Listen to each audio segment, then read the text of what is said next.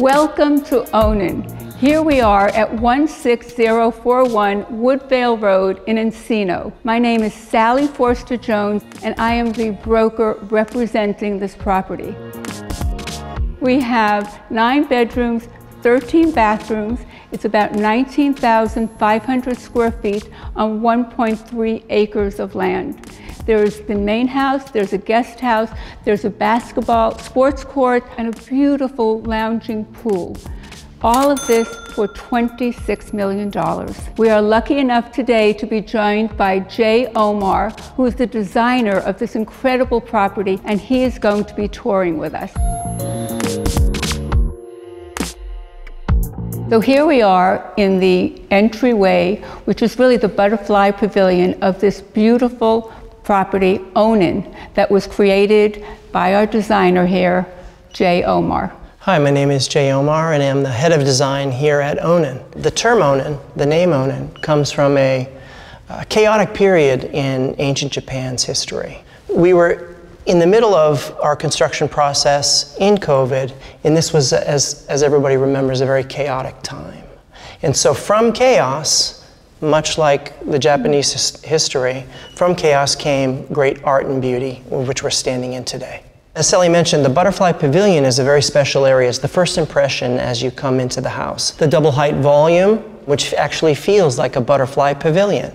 The glass walkway and the glass walls on either side give a, um, an air of transparency, and they also give you connection with the outside with the, with the oak trees that are throughout the property. If you'll notice the subtle butterfly impression held within the book matches of our Pietro Grigio stone. This also underpins the term butterfly pavilion.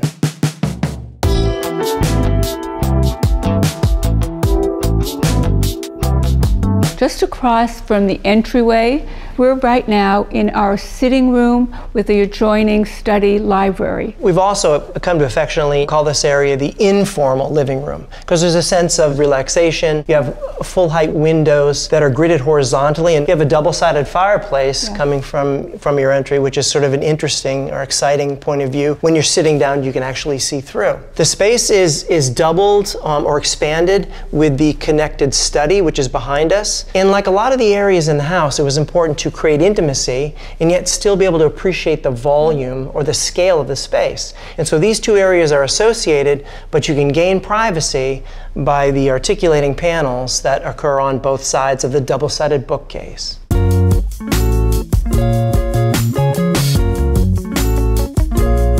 Here we are in the study, which is the adjoining area to the informal living room. You'll notice that the mood is very different here. Hmm. It's serene, the light penetration is different. You're able to have some intimacy or privacy from the sitting area via the uh, sliding screens. You notice the sliding screens, which are mirrored, have a bronze mirror on both sides, are anchored by this incredible block of stone. The block of stone has functioning drawers and doors within it that are also clad with stone. The open beam detail at the ceiling is something that you'll find in traditional Japanese homemaking or traditional Japanese farmhouses. It's a, a, structural element, but it also conveys a, a, a warmth and intimacy with a nod to ancient Japan.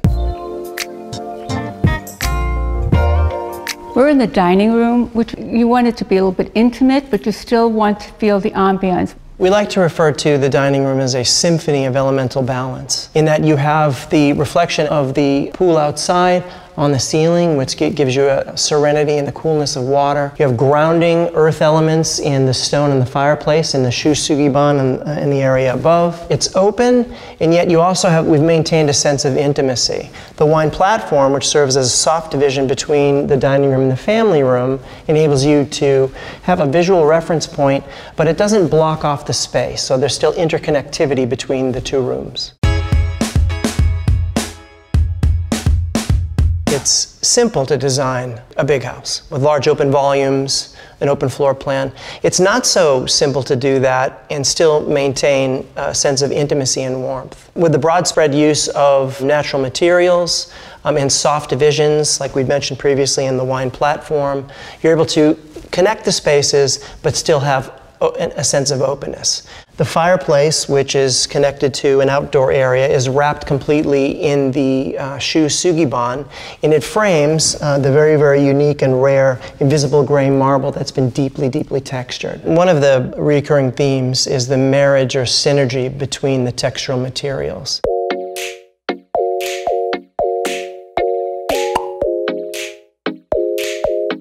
Just off of the great room is our kitchen. These areas are connected, yet they have independence with soft division.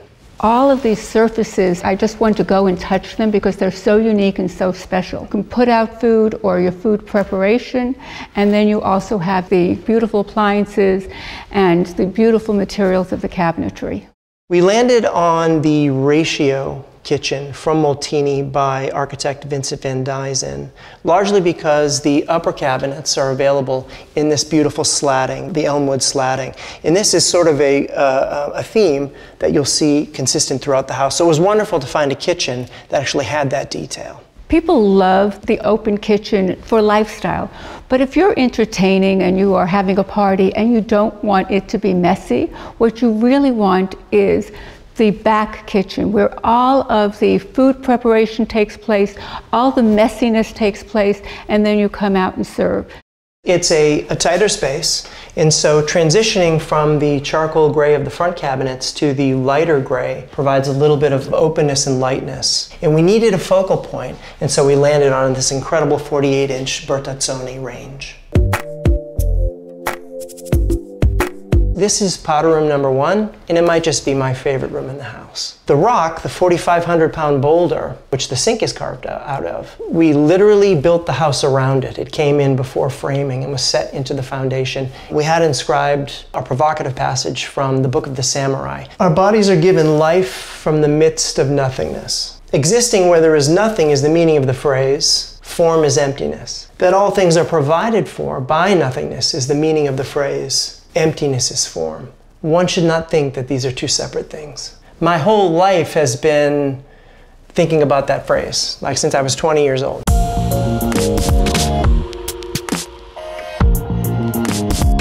The home theater at Onin is an expression in natural materials. And so normally a theater has a more formal vibe. Here we wanted to feel relaxed, and so we used, for instance, linen on the walls. The wood tone is anchored by the sienna veining running through the leathered belvedere dividing wall between the upper and lower areas in the theater.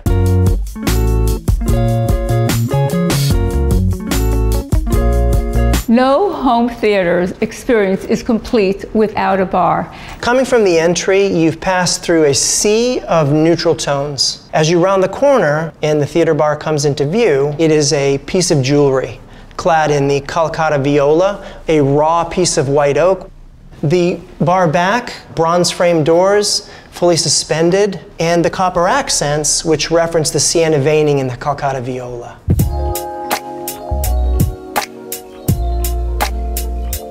Right off the theater bar, we're now in the game room, and this is a place to just hang, relax. It's also the entrance to our wellness center. So we have a beautiful gym, lovely sauna.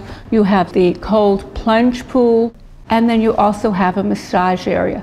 All of this opens seamlessly to your pool, and so you have Southern California Living Wellness Center.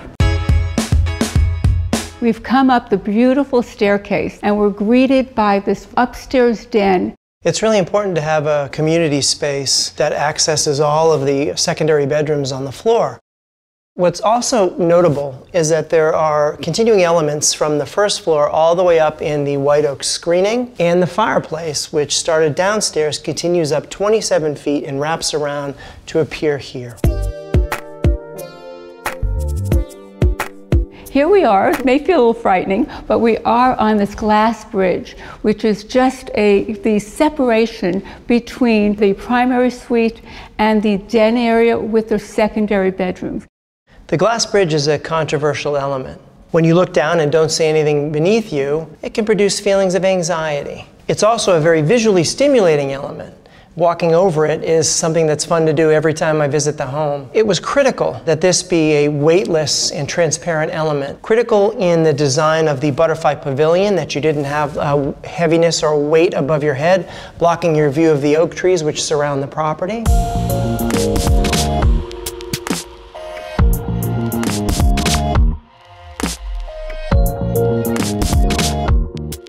As you enter the primary suite, you're going through a six foot wide plus pivot door with authentic bronze hardware, which underpins our reoccurring Japanese theme. Also underpinning that theme is an authentic bonsai that sits right in your eye line as you enter the suite. The doors open up so that this private or protected courtyard becomes an outdoor space, also becomes an indoor space, going back to that central theme of eliminating the barrier between inside and outside. And you have that throughout each part of the primary suite. The cathedral ceilings provide a, a, a sense of openness and uh, grandiosity, but also the cladding, the vertical cladding in the oak that goes seamlessly continues from the ridge line down to the wall and over the entrances to the closets. That also contributes to the overall feeling of warmth and intimacy that you have within this incredibly large space. Concealing such amenities as the primary closets or the bathroom, this is an exercise in purpose and passion.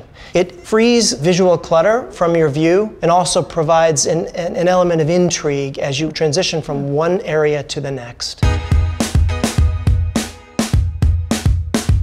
We come through the hidden doors from the primary bedroom suite, and here it is. This is one of the two large exclusive closet areas. So you couldn't very well have serenity in the house and chaos in the closet. And that's really the overarching theme held within the closet is covering things that you don't want to see. So everything is carefully placed behind doors. The whole room is anchored by this island completely clad, including the drawers, in marble. So this is one of the two bathrooms. We have the beautiful book matched and etched stone wall. We have our vanity area that is unlike anything else I've seen anywhere. You have the live edge oak doors and you have a stunning shower and bathtub. And then it all opens up to this zen outdoor area. The contrast between the dark basalt herringbone floor, active but monochromatic, setting the stage for the very active Calcutta vertical walls. The contrast between these two, the dark value within the stone is pulled out for the floor, the medium value within the stone is pulled out in the board form concrete in the outdoor sanctuary. Again, going back to um, that we're crafting a complete environment and that you have everything that you need. Whether it's the sink in the opposing vanity area, you've got mirrors that are hung from the ceiling. The vanity is pulled off of the wall to promote a circular traffic pattern. The doors open up so that once again we have this seamless integration of inside and outside. The fire pit, water elements on either side, once again going back to that elemental balance, which is so critical within a home. Outside in the yard at Onin, we have a multi-use sports court. We have a 65-foot infinity pool, and the yard is broken into two terraced areas. The lower yard, where the pool is held, and the upper yard, where the sports court, guest house, and walkable garden is. The backdrop is 65 feet of book-matched marble. It can be appreciated from almost every viewpoint that you stand within the first floor of the home. The outdoor entertainment area at the far end of the property is broken into two segments. There's a standard barbecue area with a full barbecue and refrigerator and a sink, but there's also what I like to call an entertaining island, which is adjacent and comes at the exact end of the 65 foot raised infinity pool.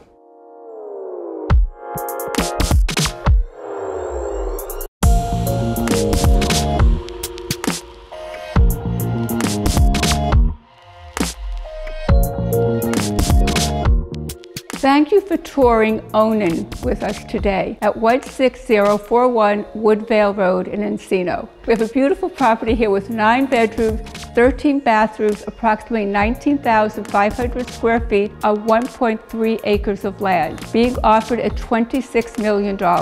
Thank you for coming and hope to see you again soon. Love to give you a tour in person.